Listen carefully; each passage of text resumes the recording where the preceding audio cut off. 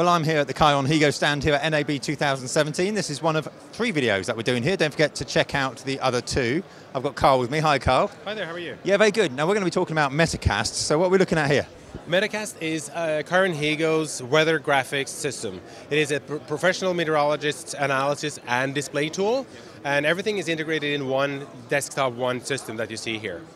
So you're able to load different uh, weather data sets. You can go anywhere on the planet. You can go down to a local area and display radar, satellite, forecast data, and everything.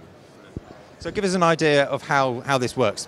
Well, what we see here is actually the rundown on the bottom. So you can easily move back and forth on the rundown. So I can just uh, uh, stop this here for a second and I can uh, scrub this back and forth. I can see what's available.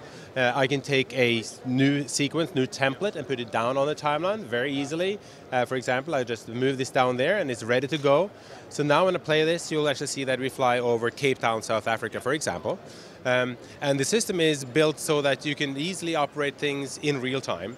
So you have a breaking news story, for example, you have flooding in Mozambique uh, or in uh, Ohio Valley. You can jump there in a second. And as far as data, where is it uh, acquiring its data from? Well, that is the beautiful thing about Metacast. Metacast is data source agnostic. We provide a data package to the clients, but the client can actually choose freely from uh, National Weather Service data, from their, their own weather data provider that they have from before. Uh, we cooperate with some really strong partners in, uh, in the US, for example, Weather Bell uh, and, and Custom Weather, for example. Uh, and the system is built so that you can synchronize data from multiple sources at the same time. On average, our clients actually have four to five different data sources available at any given time.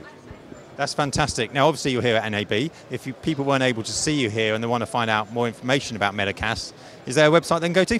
Absolutely. It is www.chyronhego.com and you'll find all about Metacast and our other uh, graphic systems and data uh, systems there.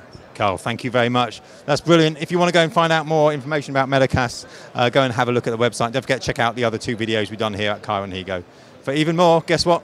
Go to our website, kitplus.com.